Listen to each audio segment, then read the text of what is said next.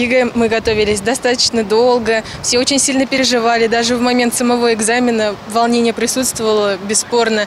Но мы справились с волнением, и я считаю, что на достойном уровне сдали ЕГЭ. Ксюша и Аня в этом году закончили школу. Чтобы поступить на экономические факультеты нефтяного и авиационного университетов, им надо было сдать ЕГЭ по четырем предметам – математике, русскому и английскому языкам и обществознанию. ЕГЭ появился в 2001 году, вначале как эксперимент в ряде регионов России. А с 2009 года ЕГЭ стал обязательным итоговым экзаменом выпускников школ. И с самого начала его появления в обществе зародились споры, хорошая это или плохая форма итоговой аттестации. А актуальны ли эти споры сегодня? Самое главное, э, аргумент «за» – это то, что у выпускников из провинции, особенно из э, маленьких городов, из деревень, появился шанс поступить в престижнейшие вузы страны.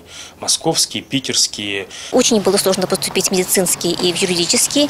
Я даже очень много лет работая в школе, не знала таких обучающихся, которые бы поступили своим путем, общем, честным путем вот в эти вузы. А сейчас э, много вот наших даже выпускников, которые учатся в медицинском, причем и в московских вузах.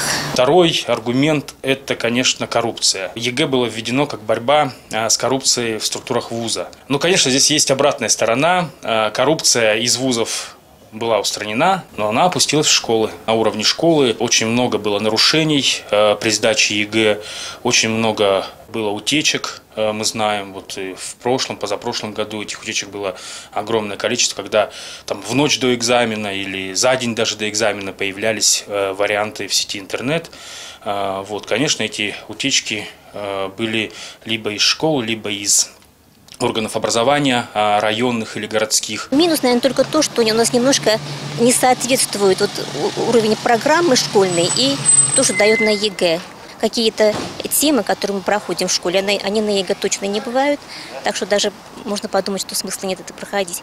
И обучение часто сводится именно к натаскиванию к ЕГЭ. Само мышление у детей – оно развивается вот э, в этом э, тестовом режиме, да, алгоритм, да, это правильно, это неправильно, это правильно, это неправильно, и все, шаг влево, шаг вправо. А, есть такое, да, задания в ЕГЭ, они более усложнены, и даже бывает встречаются такие задания, которые в школе ну, даже и не припомню, что да. вообще такое было, да-да-да.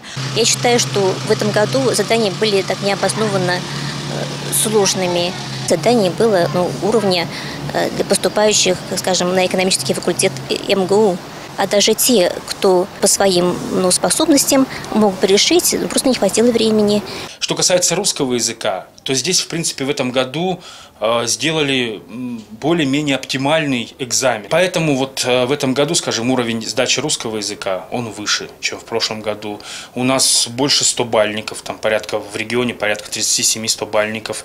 Э, никогда такого не было. Нарушений на ЕГЭ в этом году было выявлено гораздо меньше. Скорее всего, это связано с тем, что были усилены меры контроля. Например, в местах проведения экзаменов и их проверки были установлены видеокамеры. О, камер было много, да.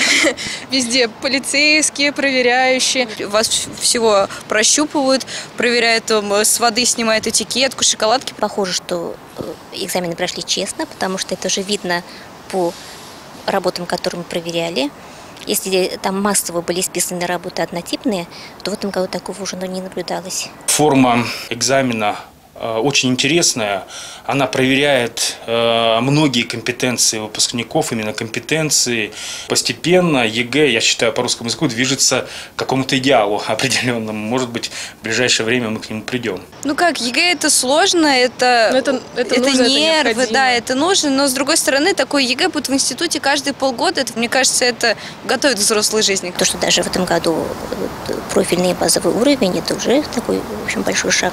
Но я считаю, что что обратной дороги нет. Самое главное, чтобы честно проходило все. Это самое главное.